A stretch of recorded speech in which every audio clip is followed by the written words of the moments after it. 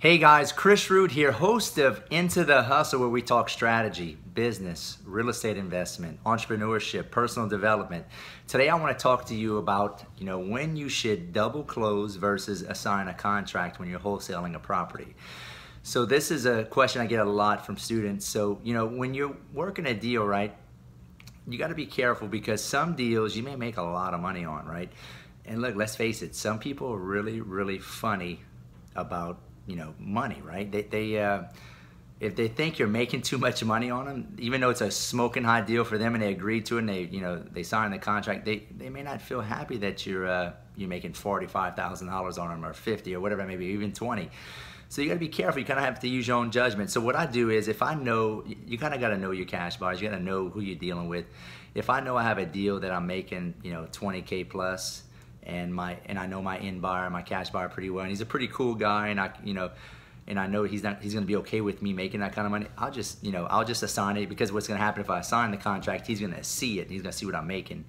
But if um, you know if I'm making a lot of money and I got a funny, you know, kind of a weird investor that I'm dealing with, I never dealt with them before and I'm making a lot of money, the best thing to do is, if you possibly can, is to double close on it, right? And that's where you close the property yourself with funds and you you get on title and you own it and then you turn around and sell it you know to them. So and some people say well chris you know i don't have say you know 80 to 100 grand to go and close on a property. I understand. That's okay.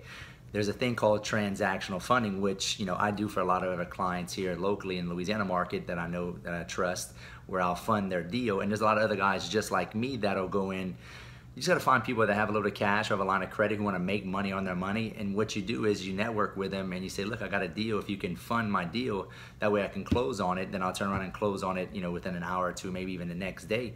You know, I'll throw you a thousand bucks. You know, who, what investor wouldn't put up, you know, 50, 60, 70, 80 grand in one day to make a thousand bucks, you know, or, or, whatever you negotiate. It could be more, it could be less, whatever you negotiate with that transactional funder. So that's what you need to know when you're trying to do a double close if you don't have cash. Now, if you're only making 2,500, five grand, 10 grand, I mean, obviously your your in buyer, your cash buyer knows you're making money. You know, it's better just to assign the contract at the table and just be totally upfront and um, and that way you're not, you know, bouncing around and, and, and feeling uncomfortable, just maybe tell my friend, hey, look, you know, here's the assignment. I got it for 20. I'm assigning it to you for, you know, 30. Well, actually, you're going to tell him, hey, would you buy this property for 30? And if he tells you, yeah, then write up the contract. Don't even tell me. Write up the contract showing that you got it for 20 and the assignment is 10 and say, here, sign this. If he agreed to 30, then he shouldn't have a problem, you know, with uh, knowing what you paid for it. I hope that makes sense. So assignment versus double close. double close, if you're making a lot of money, absolutely. Just go figure out a way. Actually, your rich grandfather or if you have a rich uncle, whatever. If, if you don't, find somebody that's got money who would want to invest in you um, to make a quick buck on their money. It's a good deal for them.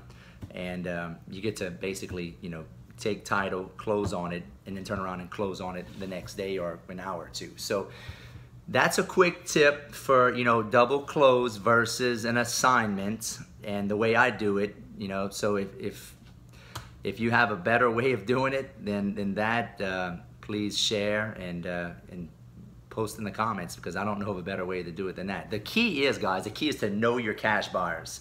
If you know your cash buyers, I mean, if I know every one of the guys that buys, I know their demeanor, I know their personality, I know how they are. Some of them are very weird, some of them are very cool.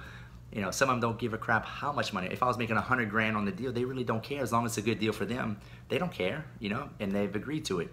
But you just have to know in your mind and kind of gauge, you know, who's who on your cash buyers list. All right, guys, hope this makes sense. That's all I have for you today. You know, tune in next time for Into the Hustle. And uh, please make comments, like, and share. And uh, appreciate it, guys. Thanks.